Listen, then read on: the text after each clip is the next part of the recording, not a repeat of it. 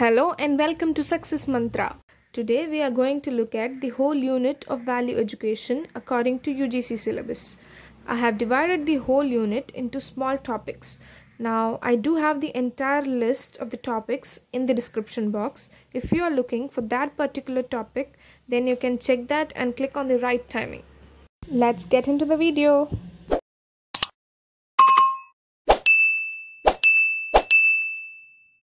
So, the first topic which we are going to look at is environment and ecological balance. Now, environment. What is environment? We are very familiar to this word environment from our childhood till now. It can be defined as a place where both the living organisms as well as the non living components exist. It also includes physical, chemical, and other natural forces and changes. In other words, it can also be defined as the sum total of conditions in which an organism has to live or maintain its life process. Now, there are three types of environment natural environment, industrial environment, and social environment. The natural environment includes water, light, land, air, and all organisms that live in nature. The industrial environment consists of villages, factories, cities, and all humans and the third, social environment includes authorities, universities, schools, companies, and other establishments, along with their output, legal, and communication process. Now we come to ecological balance. But before moving into the topic, we should know that what ecology is.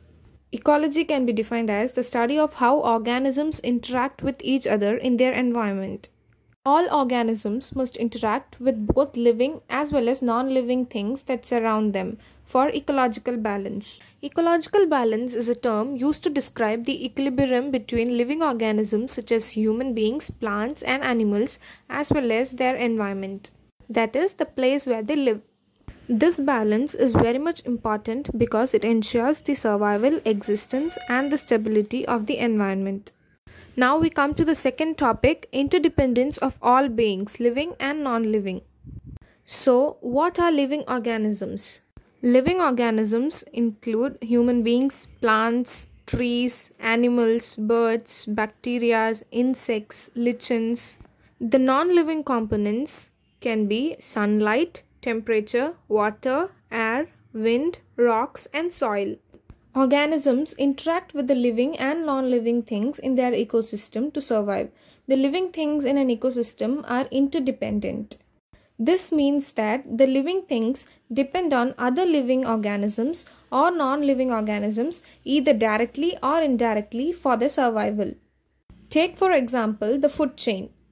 There are three stages in a food chain the producers, the consumers, and the decomposers. The plants and the green trees take the place of producers. The animals and human beings take the role of consumers. The bacteria and lichens take the place of decomposers. Further, when we divide the consumers, we could divide them as herbivorous, carnivorous, or omnivorous. The animals that eat only plants are known as herbivores, and the animals that eat only meat are called as carnivores, whereas the animals which eat both plants and animals are termed as omnivores. Now, we'll discuss in detail about how the interdependence takes place.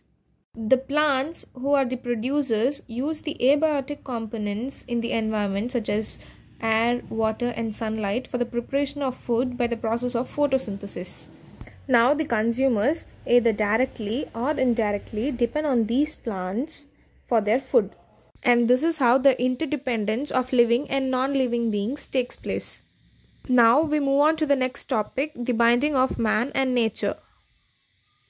So, just think will there be any living creature in this universe without nature? The answer is no. Everything is connected to everything, from the smallest microorganism to the largest animal. Man has been in relation to his surroundings since ancient times, but nowadays, due to the development, we have stopped interacting with the nature. We have been disconnected from nature. It had been years walking bare feet on the soft grass, getting vitamin D from natural sun rays instead of capsules. These days, uncontrolled urbanizations and the loss of green space have become the main cause for global warming, especially the climate change. But today we have a new trend to connect humans and nature to slow down global warming, which is called the biophilia design. Biophilia design is an innovative way of designing the places where we live, work, and learn. It is an extension of natural life, incorporating natural materials, light, plants, and other natural world experiences in contemporary architectural surroundings. It is not only bringing the outside in, but also creating a strong relationship between many aspects of nature and our living space. Now we'll look the last topic environmental conservation and enrichment. Environmental conservation is basically the practice of humans to save environment from collapsing such as loss of species, ecosystems due to pollutions and human activities. Now the question comes why is it important to conserve environment? The most obvious reason for conservation is to protect wildlife and promote biodiversity. Protecting wildlife and preserving it for future generations also means that the animals we love don't become a distant memory and we can maintain a healthy and functional ecosystem. Now, what are the types of environmental conservation? There are animal conservation, marine conservation and human conservation. So here are some of the simple ways to help environment. Use reusable bags, print as little as necessary, recycle, Use a reusable beverage container. Don't throw your notes away. Save electricity. Save water. Save nature and nature will save you. It is not yours, not mine. It's ours. So protect your mother who nourishes you.